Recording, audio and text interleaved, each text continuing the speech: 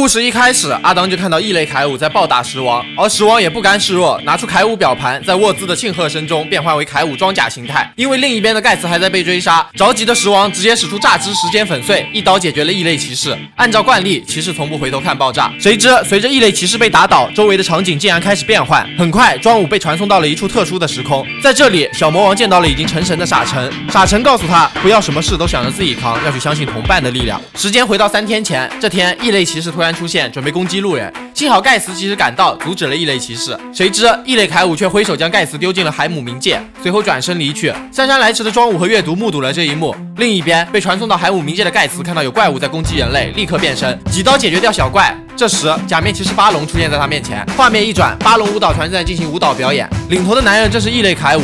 而阅读不知从哪得知了关于异类铠武的消息，并带着庄武找到了这里。庄武拿出变身器，准备变身，双方展开激战。石王拿出欧兹表盘，变身为欧兹装甲形态，对着异类骑士发起连续进攻。眼见不是对手，异类骑士准备将石王也送进海姆冥界。幸好关键时刻有人开枪击退了异类骑士。石王转头望去，谁知出手的竟然是另一个石王。两个石王对异类骑士发起了正义的群殴。面对两个小魔王，异类骑士疯狂吃瘪。眼见时间差不多，石王准备释放大招，谁知最后关头，另一个石王却拦住了他，并表示现在还不是时候。下一刻，两人被异类骑士正面击中，异类骑士也趁机开溜，烟雾散去，两个石王面面相觑。原来蓝衣服的石王来自于三天后，也就是开头见到了傻成的那一个，也是他告诉了阅读关于异类铠武的事。而他之所以冒着危险穿越回来，都是为了拯救被困在海姆冥界的盖茨。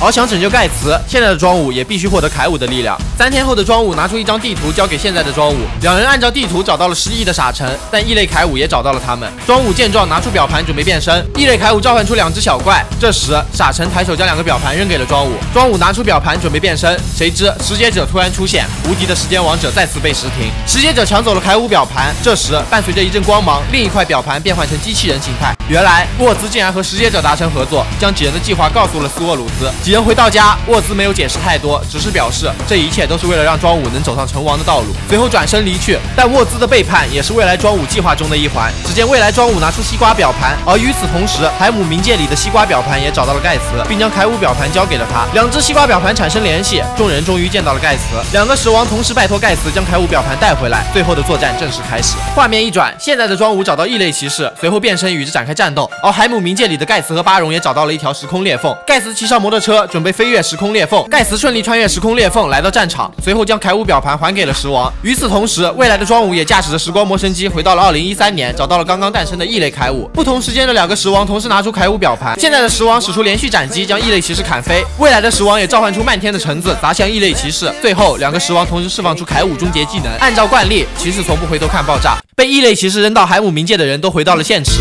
铠武的故事告一段落，但假面骑士的故事还将继续。我是阿当，我们下期再见。